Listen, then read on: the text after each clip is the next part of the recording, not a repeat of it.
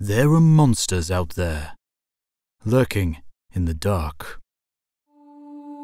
For centuries, astronomers scanned the heavens again and again without ever spying them. But behind the familiar stars and nearby calm galaxies of our universe lay something far more vicious, far more terrible, and far more powerful.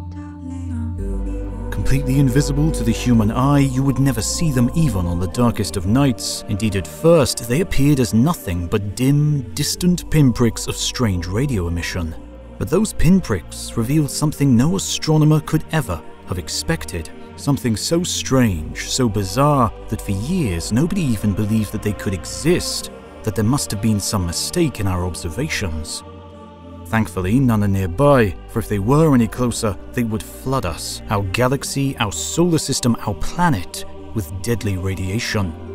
A single one of these monsters can easily pump out over 10 to the power of 40 joules every second. For comparison, our Sun outputs about 10 to the power of 34 joules, a million times less, every year.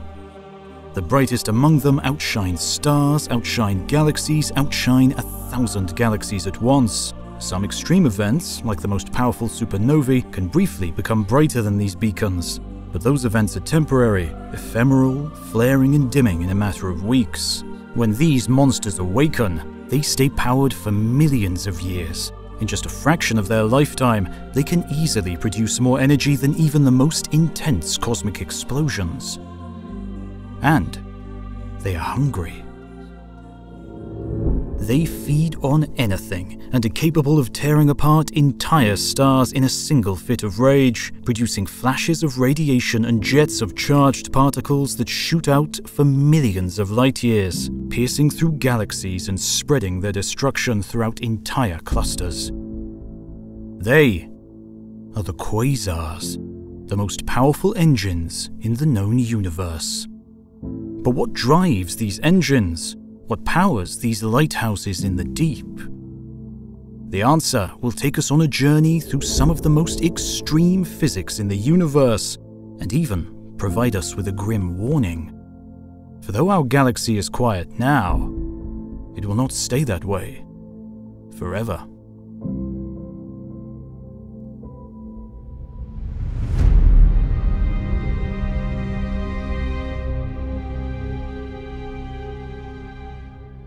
The most distant quasar from us is 13 billion light years away. It would take nearly the entire history of the universe to travel to, and that's without the universe expanding at the same time. Space is big and getting bigger, and sometimes that can make us feel small. BetterHelp is our sponsor today. They are the world's largest therapy service and are 100% online. BetterHelp can match you to one of over 30,000 therapists in their network based on your needs, preferences, and location, giving you access to a wider range of expertise than may be available in your area of the universe.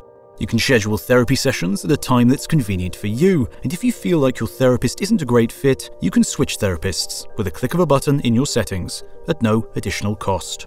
With BetterHelp, you get the same professionalism and quality you expect from in office therapy, but with a therapist who is custom picked for you, with more scheduling flexibility and at a more affordable price.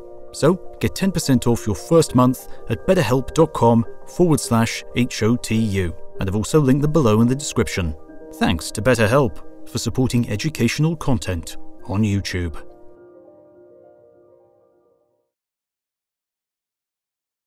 At first, astronomers had no idea what they were seeing.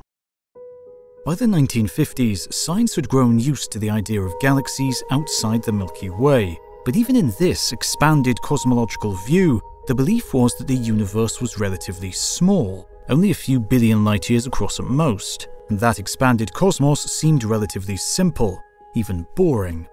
There were galaxies, there were clusters of galaxies, there were vast expanses of nothingness. For a time, astronomers were able to convince themselves that they were finally starting to figure things out. But in the mid 20th century, there was a technological revolution.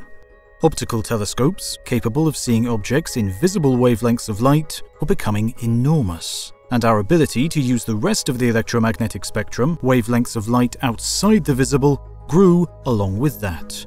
And with these new observations came the realization that the universe was far weirder than we could have ever imagined. One of the first revolutions was in radio. In the 1930s, the pioneering engineer Karl Jansky solved the problem of how to reduce noise in sensitive radio antenna and discovered the first radio signals coming from deep space. Among many bright and obvious sources, like Jupiter, the Crab Nebula, and nearby galaxies, astronomers also discovered numerous, small, faint, distant, point like radio objects. These strange objects appeared all over the sky, emitted radio waves at a broad range of wavelengths, and could not be seen with visible or infrared telescopes. The only clue they gave was their position. They appeared both within the band of the Milky Way and outside of it. Since our galaxy is a thin disk, this meant that the sources either had to be extremely close, like the visible stars of the night sky, or extremely far away, like the distant galaxies.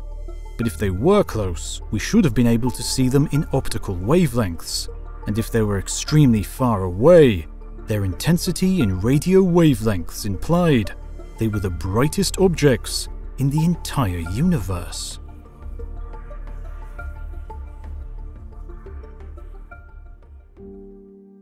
Understandably, many astronomers pushed back against this interpretation, not only arguing about their distance, but also openly questioning what could possibly power something that bright.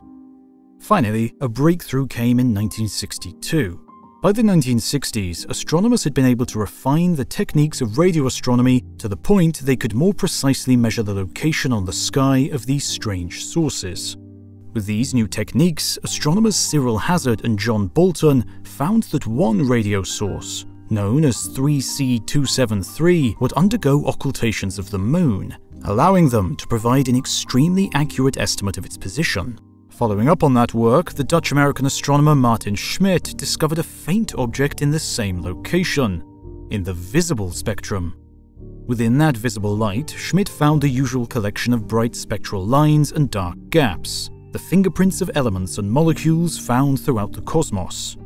But these lines were not in their usual wavelengths. Instead, they were shifted towards the red end of the spectrum by nearly 16%. To get that kind of redshifting, either 3C273 had to be moving away from us at an incredibly fast speed, or it had to be incredibly far away. By this time, astronomers had been slowly accepting the Big Bang theory of the universe, the view that the cosmos was once smaller in the past and is continuing to grow in the present day. Under cosmological expansion, light from distant objects redshifts because the space between them and us expands, stretching the light out into longer wavelengths.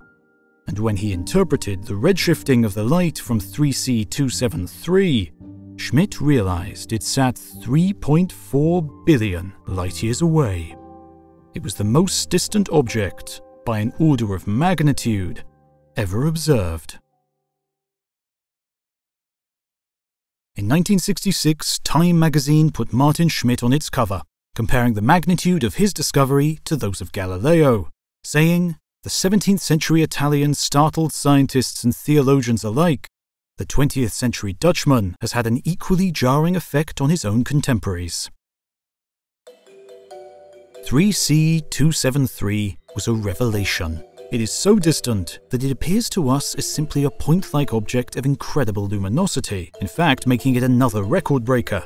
It was also the brightest known object in astronomy at the time.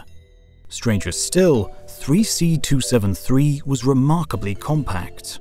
Now knowing the location of the object, astronomers dug back through archival photographic plates and found that earlier generations of astronomers had already seen it, without recognizing it for what it was. Year after year, 3C273 had shown up, but its brightness had varied between annual observations. To change brightness within a year, an object must be smaller than a light year across, because any changes to the object can only propagate at a speed lower than the speed of light. So not only was 3C273 far brighter and far more distant than any known object, it managed to accomplish both these feats in a volume smaller than our solar system. With this technique of matching radio sources to visible light objects in place, astronomers went on to confirm the distances to dozens of these so-called quasi-stellar radio sources, the name coming about as early astronomers knew that these objects were not normal stars, but had absolutely no clue what they actually could be. It was in 1964 that the astrophysicist Hong-Yee Chiu coined its modern, catchier name in the journal Physics Today. So far, the clumsily long name quasi-stellar radio sources is used to describe these objects. For convenience, the abbreviated form, quasar, will be used throughout this paper. And so, the quasar was born. Debate over the true nature of quasars raged for decades within the astronomical community. Many astronomers believed that the original interpretation was correct, that these were incredibly bright, incredibly compact, and incredibly distant objects. But they could not explain what powered these extreme objects. Others continue to argue that these were some sort of exotic star, much closer to our own galaxy, that provided such an extreme amount of gravitational pull that light escaping from them would redshift, making them appear much more distant than they really were. But it wasn't one decisive measurement that cemented the cosmological nature of quasars, but rather a gradual build-up of observational pressure, which grew hand in hand with the acceptance of the Big Bang. The Big Bang theory tells us that the universe changes with time. Not only was it smaller in the past, it was also different. Quasars only appear in the extremely distant universe. Indeed, the nearest quasar sits over 700 million light-years away, since astronomy acts like a time machine, with more distant observations revealing the nature of a younger universe, these observations tell us that quasars were only active in the distant past and have now gone quiet. This idea fits perfectly with the Big Bang, because we expect the universe to change as it evolves with time. Our dawning understanding of the age and size of the universe helped paint a portrait of a gigantic ancient cosmos that could easily accommodate the distances to even the most far-flung quasar. And so, astronomers were left with little choice. They had to accept that these strange, intense objects were truly far away and truly bizarrely bright.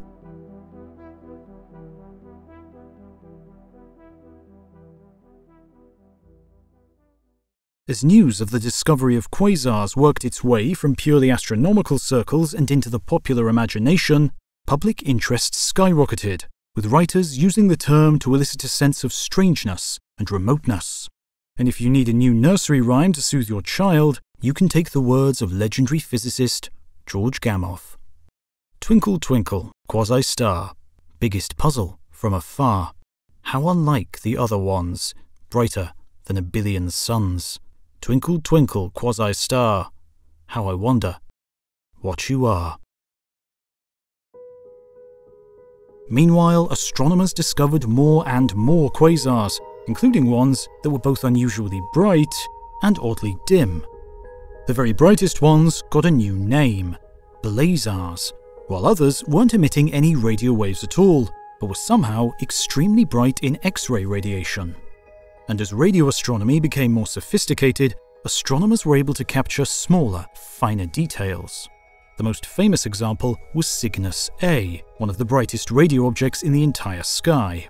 Initially thought to be an exotic radio star when it was first discovered, by the 1950s astronomers realized it was far stranger. The central core of Cygnus A was a galaxy, but extending hundreds of thousands of light years away from that core were two thin, long jets, ending in gigantic bubbles, screaming in radio emission. All of these strange objects, whether loud or quiet in the radio, whether relatively nearby or extremely distant, shared one thing in common. Their cores were abnormally bright. In some cases, the nuclei of the galaxies outshone all the hundreds of billions of stars within the galaxies themselves. The brightest of these cores indicated an enormous amount of activity, of unknown origin. Without knowing the true explanation, astronomers conceived of a brand new term to encompass them all active galactic nuclei. And so, what was going on in the cores of these galaxies? Why were some the most luminous objects in the universe while others were relatively quiet? What generated the radio emissions, and why did some blast out X ray radiation? Astronomers had discovered a zoo of active galaxies throughout the cosmos, with a dizzying and confusing array of galactic creatures. Something must power them. Something must generate the energies needed to make the brightest of them outshine a thousand galaxies at once. Something must enable them to be seen from the distant reaches of the far universe. These active galactic nuclei must have something in common, and it was clear that that something lived in their cores.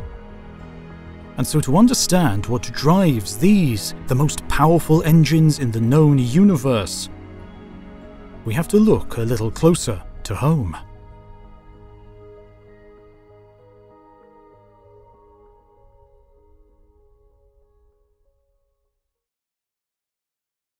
25,000 light years away sits a monster. We wouldn't know it by looking at it. We can't see this monster with our own eyes. We can't see it with telescopes. But even decades ago, we knew that something strange was there. When we look out at the sky on a dark, clear night, we can see the band of the Milky Way. The Milky Way is brightest in the direction of the constellation Sagittarius, and it's there that astronomers discovered the core of our galaxy. And when radio astronomers began their first, hesitant explorations of the sky, they also found a bright source of radio emission coming from this point. Later astronomers, building a catalogue of radio sources, ranked the brightest object in each constellation in alphabetical order, and so the bright source in Sagittarius became known as Sagittarius A. Still later, more detailed observations revealed an exceptionally bright, point-like object buried within the larger Sagittarius A complex. Because the discovery was exciting, and excited states and atoms get labelled with an asterisk, the modern name for the object at the very centre of the Milky Way was born. Sagittarius A star. It was the same problem posed by the distant quasars, but much closer to home. What could possibly power the bright radio emissions coming from the center of our galaxy? And so they pushed deeper into the maelstrom, and deep within the core of Sagittarius A star, astronomers found stars. Pinpricks of light dancing and swirling. Repeated observations showed that the stars were orbiting around some unseen companion, bound by chains of gravity to something massive and something dark. Simple calculations of orbital mechanics revealed the mass of the central object, forcing scientists to acknowledge the existence of an entity weighing over 4 million solar masses. Debates swirled for decades, but eventually only one plausible answer remained. Sagittarius A star was a supermassive black hole.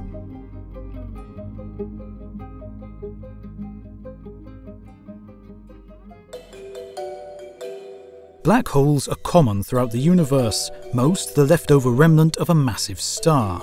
These black holes are usually relatively small, weighing only a few times the mass of the Sun. But the mysterious object at the centre of our galaxy weighed millions of times the mass. How could such a giant black hole form, and how could it find itself at the centre of our galaxy? In 2022, all debate on its identity was put to rest when the Event Horizon Telescope unveiled their stunning image of Sagittarius A star. Using a network of telescopes spanning the entire globe, the Event Horizon Telescope team spent years carefully combining and correlating their data. The result was a blurry, low resolution image of the true nightmare sitting within our galaxy's heart. A fuzzy ring of superheated plasma swirls around an evacuated core of pure blackness. At the very center lies the black hole itself, its event horizon preventing any background light from traveling through it. But the immense mass of the supermassive black hole distorts gravity to such a degree that light behind the black hole can instead curve up and around the event horizon, giving us a view behind the monster. The black hole itself appears larger than it really is, again due to the extreme warping of spacetime. Lines of sight that would normally graze past the edge of the event horizon instead wrap around it. From our perspective, the globe of the black hole unfolds itself, revealing every angle of it in a single image, producing what's known as the shadow.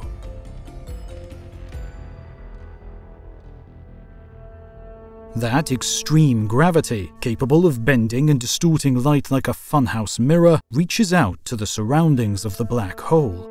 Stars that whip too close to the event horizon risk their doom. If they pass within a critical distance, the gravitational forces tear the star apart in a process called a tidal disruption event. Most of the gas, however, settles into a distant orbit around the black hole, but 25,000 light years worth of gas and dust sit between us and the center of our galaxy. That gas and dust scatters and absorbs most wavelengths of light, preventing us from seeing the Sagittarius A complex directly. Indeed, if we could, it would be one of the brightest objects in the sky.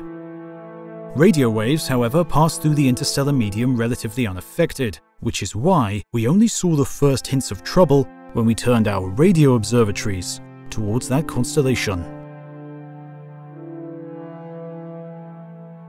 But despite the fearsome radiation pouring out of the gas surrounding it, the black hole itself was relatively quiet.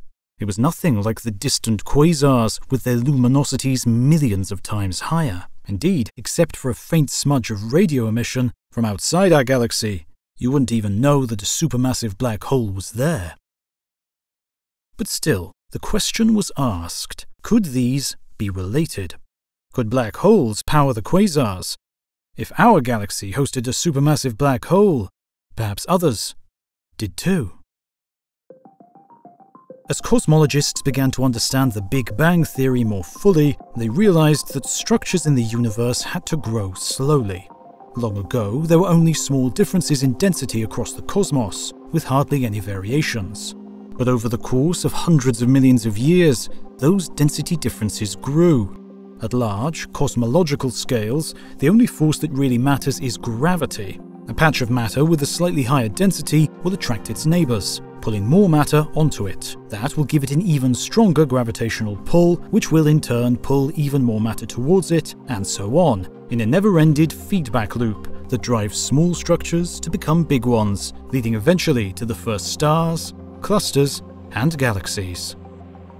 All this gravitational action leads to incredibly high densities in the cores of these structures. It's simply where matter piles up the most. The cores of galaxies host many stars, and those stars are much more massive than average.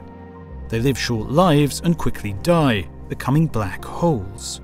And packed into such small volumes, the black holes quickly merge together, their sizes growing out of control, becoming supermassive. The idea that black holes could power quasars was first proposed in 1964, just a year after the identification of the first quasar itself. But most astronomers rejected the idea outright. After all, at the time, black holes were considered a wild and probably unphysical hypothesis. Einstein's general relativity was certainly a radical reshaping of our understanding of gravity, but that didn't mean that every corner of its mathematical structures had to be replicated in the universe. The concept that matter could compress so tightly that no other force could withstand it was outlandish. Surely some process would stop a dead star from catastrophically collapsing into a point of infinite density. But then astronomers came across an intriguing system, known today as Cygnus X1, a bright source of X-ray radiation in the constellation Cygnus the Swan.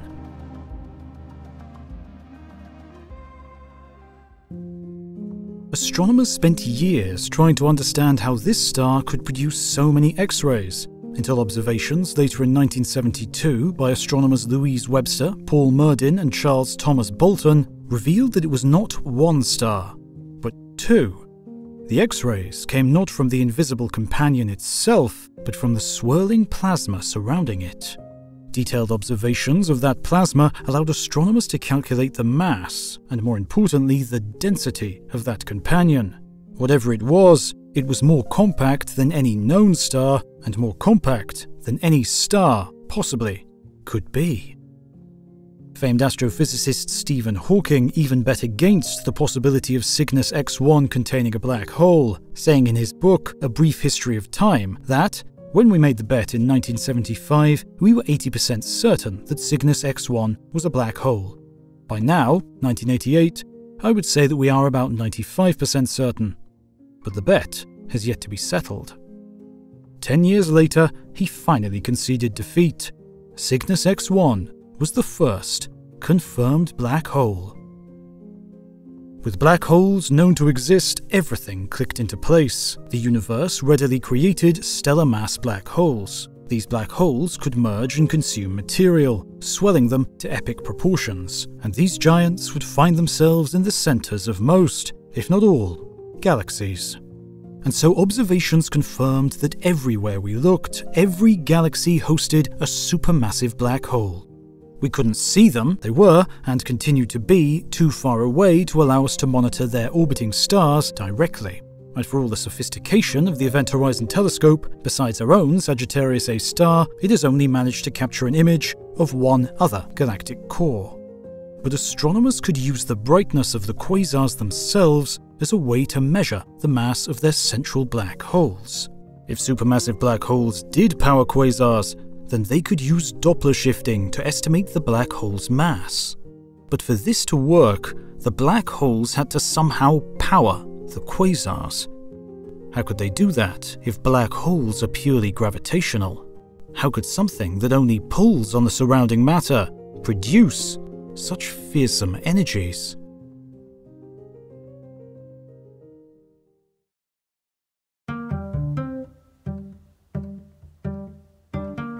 Red claxons blare, and a moment later you feel your ship shuddering, jolting uncontrollably. The stresses on the hull are almost too much, threatening their integrity. Together with the alerts flashing on your display comes a new, ominous warning chime. A flood of cosmic rays have struck the ship, microscopic particles slipping through the molecular structures and straight into the hearts of the crew. But you are determined to go on. You push your ship forward, allowing it to slip into the swirl of plasma in a relativistic frenzy. You don't even bother trying to control it anymore, as the forces here are so strong, so far beyond known physics that there's no choice but to give in to their mercy. The ship is in uncontrolled freefall. A quick glance at a side readout reveals what you already suspected.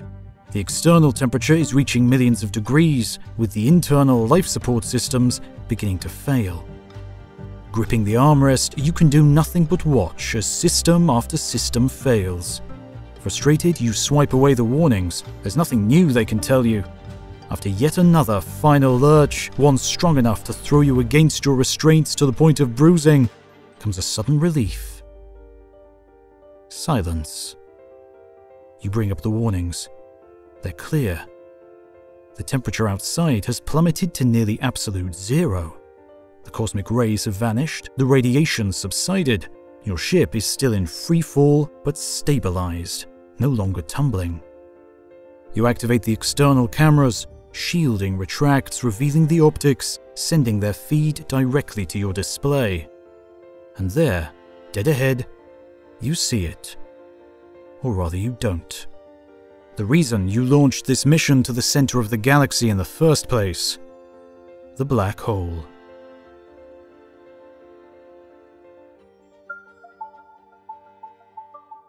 The deep hearts within the cores of galaxies are complicated, busy places, like city centers. There are far more stars than average, compressed into uncomfortably small volumes, like city dwellers crammed into tiny apartments street after street. There are also far more aging red giants located here, a testament to the ability of the cores of galaxies to produce greater numbers of the most massive stars. But within all this brightness and intensity is a dark side. Astronomers estimate that the core of our own galaxy hosts tens of thousands of smaller black holes, a retinue in service to their master at the center. Countless supernova detonations, gravitational tidal interactions, and more tear stars apart, their tattered remains scattered among the close packed stars. Nothing much lasts long in the intensity of the core and among all that chaos sits a thick ring of cold dust, a choking ring of smog within the central city. It is wide, around a thousand light years thick, and the dust slowly circles around the center. It's also as thick as it is wide, forming a gigantic torus, and is so cold that the molecules and dust within it are neutral. If you were to travel through it, you would hardly notice it due to its low density, but that dusty torus obscures our view of most galactic cores, as it efficiently absorbs most of the radiation coming from within. Only when we look from above or below do we get a direct view of the maelstrom.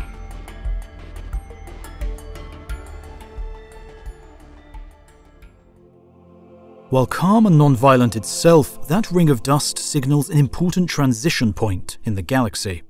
Outside the ring, you are in the galactic environment, the suburbs, the physics dominated by all the gravitational and electromagnetic forces of the galaxy at large. But within the ring, only one thing matters the supermassive black hole. It is the central landmark to guide all lost travellers. While even the largest ones take up less than 1% of the total galactic mass, they are by far the most massive singular objects within a galaxy. Far enough away from them, like our own solar system is, away from Sagittarius A star, we don't feel or even notice the black hole. But within the torus of dust, the gravity of the black hole takes over. Within this region, the black hole's gravity dictates the motion of every star, every clump of gas, and every speck of dust. It's here that some stars stray dangerously close, their orbital motions bringing their speeds up to a few percent of the speed of light. If they get too close, they're torn to shreds, their atoms joining the trains of gas on their dreadful march towards the event horizon. Even closer to the black hole, that gas begins to lose control. Unable to dictate its own motion, it gets lost in the crowded frenzy, funneling to incredible speeds driven by the extreme gravitational environment. It is this process that releases an incredible amount of energy from the simple act of falling. And to get an estimate of the amount of energy released, we look at something called the binding energy. To understand binding energy, imagine wanting to move a pile of stones sitting at the bottom of a valley. To move the pile, you must grab each individual stone and bring it to the top of the ridge. Every time you do this, you just overcame the gravitational potential energy of the stone, you can estimate how much energy you'll need for the entire task by calculating the potential energy of all the stones. Now imagine pulling these stones from the bottom of the valley and sending them so far out into space that they never come back. Now repeat that for every single atom of the Earth, effectively destroying the entire Earth in the process. The amount of energy you would need to obliterate our planet is called the binding energy. For a black hole, imagine dragging a particle from the event horizon all the way out to a distance of a few thousand light years, fighting against the gravity of the black hole the entire time. That is the binding energy of the particle around the black hole, which is equal to the energy released when the particle falls from that distant orbit into the event horizon. And for a typical supermassive black hole, that energy is roughly equal to the rest mass energy of the matter itself. This process isn't perfect, and not all the energy available is released as the particle falls. Usually only about 10% of the binding energy converts into other forms. That may not seem like a lot, but compare that efficiency to the 0.1% of the rest mass energy released by thermonuclear reactions in the hearts of stars. But this process doesn't lead to an uncontrolled release of energy like a bomb. Instead, the release is slower and in stages, a steady build-up of excitement as material continues to cram towards the black hole. As the gas heats up, it emits radiation. Normally, radiation only makes things warm, but the intensity here is so high that the radiation has a pressure. It is so intense that it can push on things. Imagine the summer sun so strong it literally could knock you over. The radiation pushes the gas, heating it up even more and sending it away from the black hole. But with the gas pushed away, it can't continue accreting, and so the radiation dissipates. But eventually the gas cools down again, allowing it to condense towards the black hole and repeat the accretion process. This cycle of collapse and inflation acts like the piston in a car engine, keeping the flow of gas in check, preventing it from suddenly crashing into the black hole all at once, and keeping quasars shining for millions of years.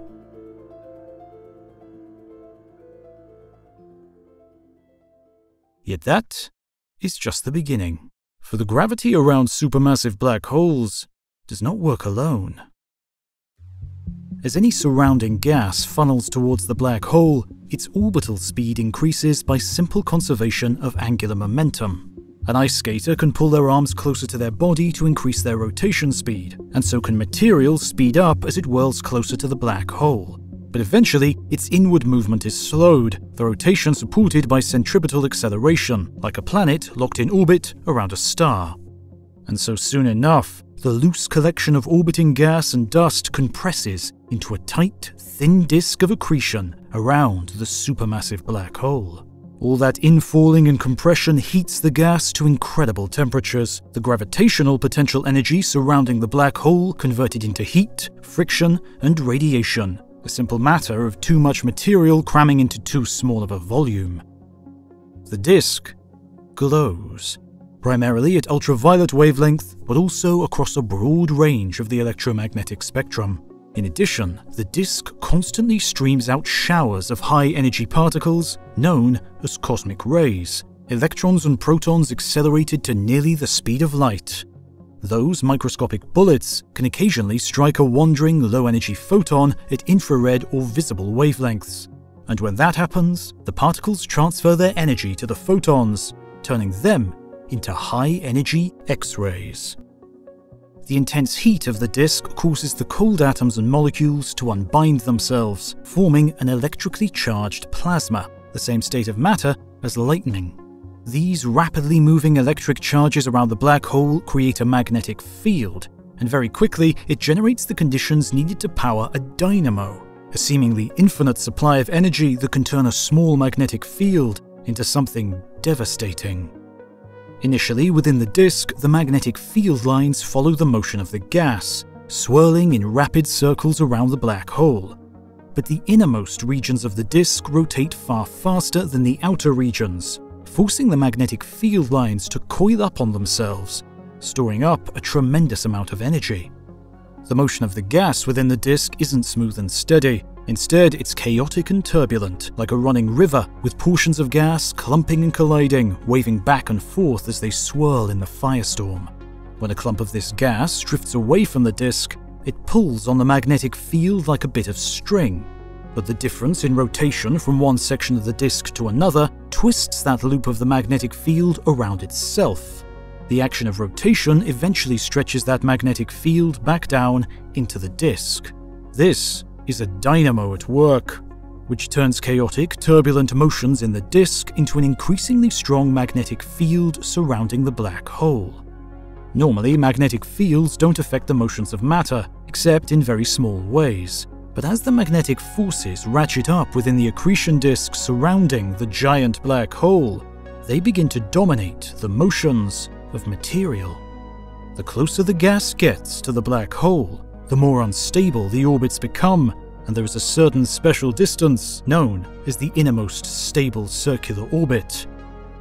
Any gas that falls below that orbit is doomed.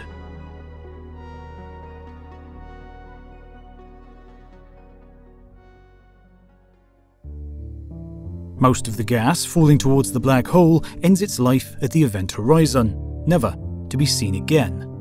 But some gets caught in the twisting and winding paths of the magnetic field lines. Their force is so strong that they channel and guide the gas as it falls. But how does this lead to the radar pinpricks we see in the distant sky? That is still a bit of a mystery. One hypothesis is called the Blandford-Znajek process, named after the two physicists who came up with the idea. The key to this idea is the fact that the black hole itself is rotating. When it does, it drags space-time in the region around it, like moving a heavy coffee table twists the rug beneath. This region, called the ergosphere, forces any object entering into it to rotate along with the black hole. This includes magnetic fields.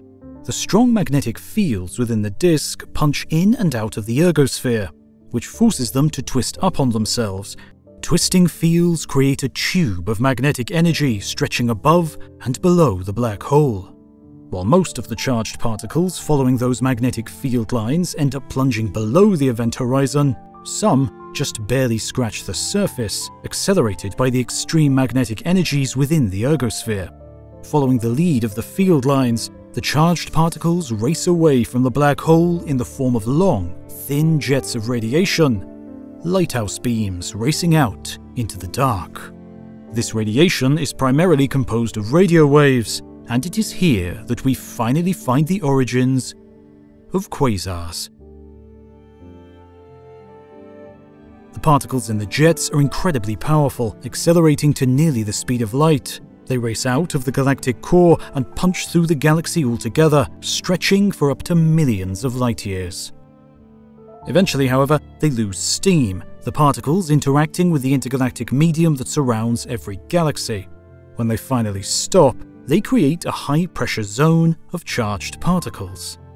These bubbles transfer heat all the way from the innermost regions surrounding the supermassive black holes into the volumes of entire clusters of galaxies, which can stretch for over a million light years across. That is how powerful these systems are. Not only can they be seen from across the cosmos, but they can raise the average temperature of entire galaxy clusters, the largest gravitationally bound objects in the universe. This picture, involving supermassive black holes, the ring of dust surrounding them, the ferocious accretion disk, and the magnetized outflows, explains almost every observation of active galaxies.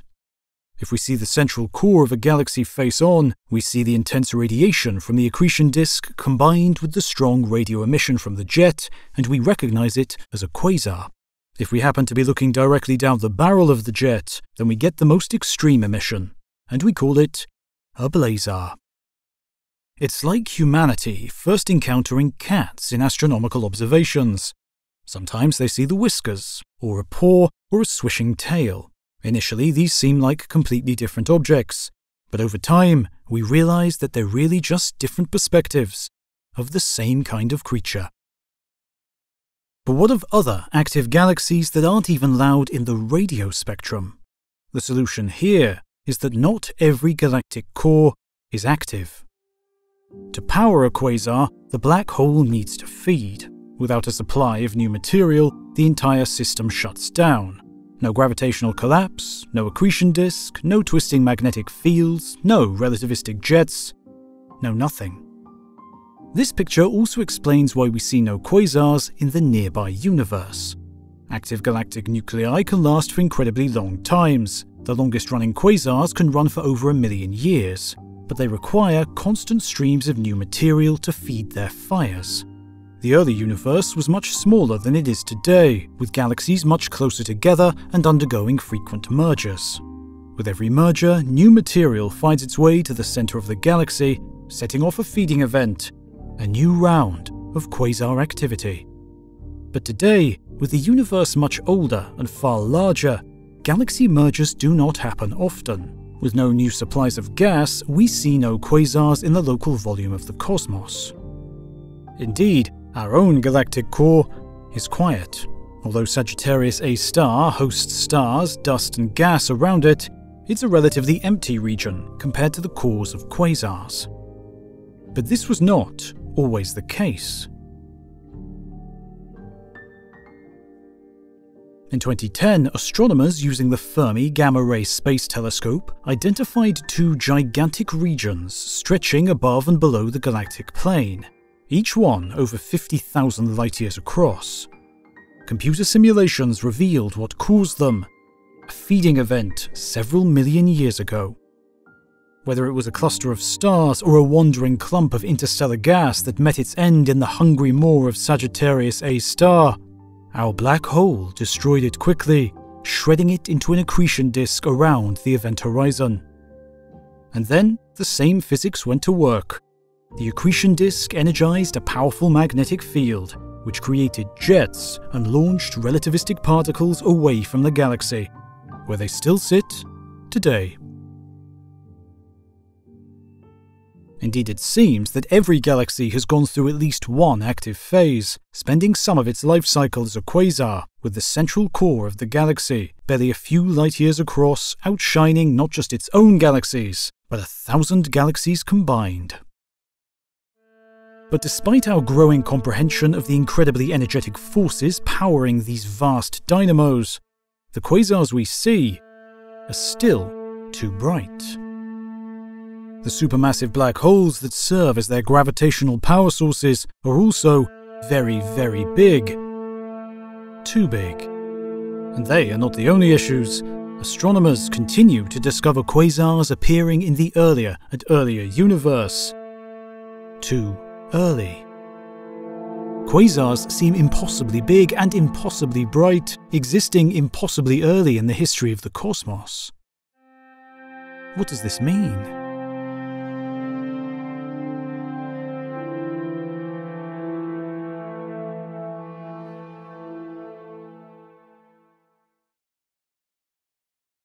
Everything about quasars is the very definition of extreme. The largest known supermassive black hole weighs over 66 billion solar masses. If you were to place that black hole in our own solar system, with its singularity at the center, by the time you reach the orbit of Pluto, you would be less than 1% of the way to its event horizon.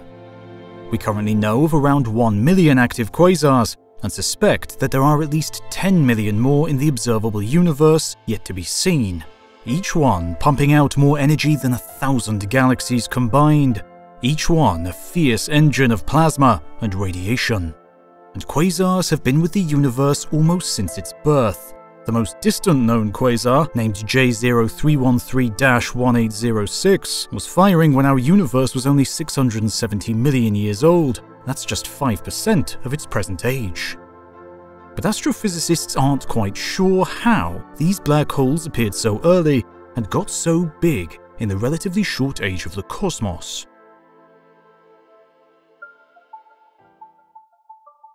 The only way that we know for sure how to make black holes is through the deaths of massive stars, so by this logic, the first black holes couldn't exist until the first generation of stars lived and died. If those early stars were like the stars of the modern universe, then they left behind black holes no more than a few times the mass of the Sun. From there, the black holes had to grow, and they have two options available merging and accreting matter. Black holes, especially massive ones, don't merge all that often, at least theoretically. Initially, when two black holes encounter one another, interactions with their environments allow them to draw closer together but eventually all that's left between them is their own gravitational pull. As the black holes wind around each other, they emit gravitational waves, which pulls energy out of the system and allows the black holes to sneak closer together. Once the black holes are within a few light years of each other, sufficient gravitational wave emission alone would take longer than the age of the universe. And astronomers still don't have a solution to this obstruction, calling it the final parsec problem. Yet despite this, we do know they merge. For we have detected signature ripples in spacetime from merger events with gravitational wave detectors. And when we scan the cosmos for supermassive black holes, we usually find only one residing in each galactic core, despite each galaxy having suffered multiple merger events. So although the universe has clearly solved the final parsec problem, we don't yet know how. However, even the most optimistic estimates for black hole production and merger rates can't explain the largest and earliest quasars. So that leaves accretion to give black holes their exceptional masses. But once again, we run into a problem. The same seesawing of radiation and gravitational collapse that keeps quasars illuminated for millions of years prevents large amounts of gas from reaching the black hole quickly. This process is known as the Eddington limit, and while not a hard and fast rule of the universe, it does present a challenge. If black holes are to reach supermassive status, they need to find a clever way around this, and somehow shove extra material through the event horizon without heating it up to the point that it escapes the vicinity of the black hole. Compounding this problem is the lack of observational evidence for so-called intermediate mass black holes. These black holes should sit in a mass range well above stellar mass black holes, which weigh only up to a few dozen times the mass of the Sun, and below supermassive black holes, which weigh millions or billions of solar masses. We should see these in-between class black holes everywhere, representing an intermediate stage of growth between the stellar mass and supermassive black holes. But we don't. On the other hand, the results from gravitational wave detectors suggest that black holes are merging far more often than we had initially assumed. In order to get the detection rates that we observe, many small black holes had to have merged in the history of the universe, meaning that they find each other, close their orbits, and merge quite efficiently. In addition, those same results suggest that there are many more small black holes than we had initially assumed based on simple stellar deaths. The result is a confusing, tangled mess. It is clear our understanding of the growth and evolution of black holes is missing something. Traditional models of galaxy and star formation don't seem to be cutting it, so perhaps it's time to turn to more exotic models.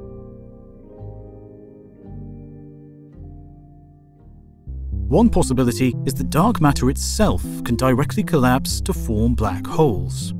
Dark matter is the dominant form of matter in the universe, making up roughly 80% of the mass of every single galaxy. But in the simplest models of dark matter, it doesn't interact with itself, and so has difficulty clumping together at small scales. When it comes to something like a galaxy, most theorists assume that the dark matter is roughly evenly spread out.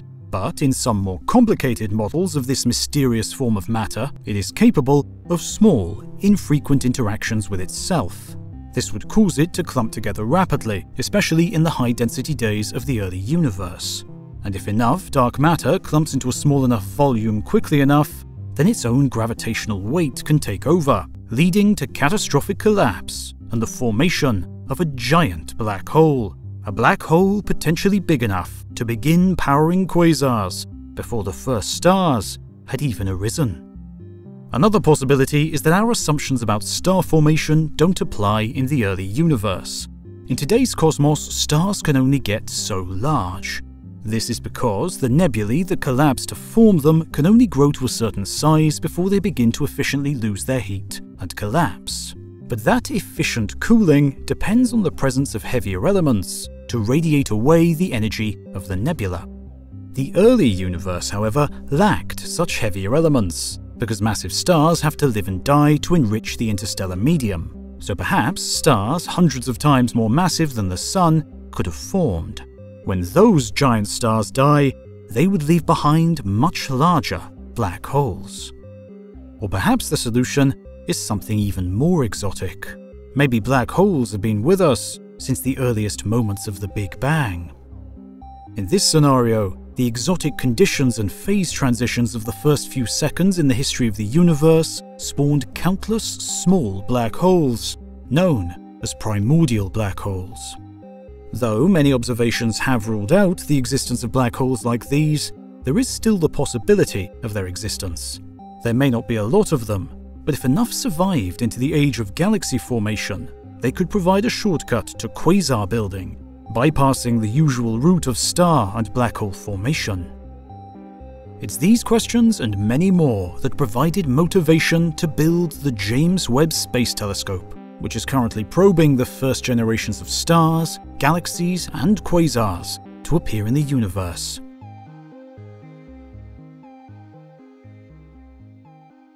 Regardless of these mysteries, one thing has become clear. Galaxies and their supermassive black holes are inextricably linked together, and the formation of quasars plays a key role in that relationship. And in the early 2000s, astronomers made a startling realization. It's not just simply a matter of every known galaxy hosting a supermassive black hole at its center, but the properties of that black hole are closely linked to the properties of the host galaxy. For example, the greater the black hole mass, the higher the temperature in the galactic core and the higher the stellar velocity within. And the larger the black hole is, the more massive the overall galaxy is. and so it appears that supermassive black holes don't evolve independently of their host galaxies, and turning on and off quasar activity plays a key role in that self-regulating connection. If a galaxy accretes a lot of material, either by gravitationally attracting gas in its surroundings or by cannibalizing another galaxy, that galaxy now has a lot of new material to boost star formation. But a lot of that material winds its way into the core, which turns into an accretion disk and launches a jet, turning the core of the galaxy into a quasar. All that radiation envelops the black hole's host galaxy, heating the entire contents of its interstellar medium. If the gas is too hot, stars can't form efficiently. This means that what would have been a burst of sudden star formation turns into a steady trickle. But this is good for the galaxy, too much star formation at once would use up all the available reservoirs of gas, which would ultimately end star formation too soon. But the quasar acts like a brake, preventing too many stars from forming in a short period of time. It seems almost every galaxy has gone through a quasar phase, and these galaxies continue to regularly pump out new stars at a predictable, efficient rate. This quasar back and forth explains the relationship between galaxies and their supermassive black holes. When the galaxy grows larger, so does the black hole, and feedback from the quasar keeps star formation in check. And this also applies to our own galaxy. The Milky Way grew from countless mergers and cannibalizations of smaller galaxies and each one of these interactions could have flooded the galaxy with so much new material that star formation became uncontrolled, using up all the available gas in just a few hundred million years. But Sagittarius A star kept us in check, preventing stars from forming too quickly. Indeed, it could be that without Sagittarius A star activating as a quasar deep in our distant past, then our own sun may never have formed, and we may never have been here. But this happy equilibrium will not last long. In 5 billion years, our galaxy will begin to merge with our nearest neighbour, the Andromeda Galaxy. Our two supermassive black holes will find each other and also merge. Material, tattered remnants of stars and nebulae destroyed by the gravitational forces of the merger will find its way into the new core. And when it does, the slumbering giant in the center will reawaken activating its mighty engines of gravity and magnetic fields, and pouring its tirelessly fierce radiation into the new galaxy, snuffing out any hopes of peace and quiet for ages to come.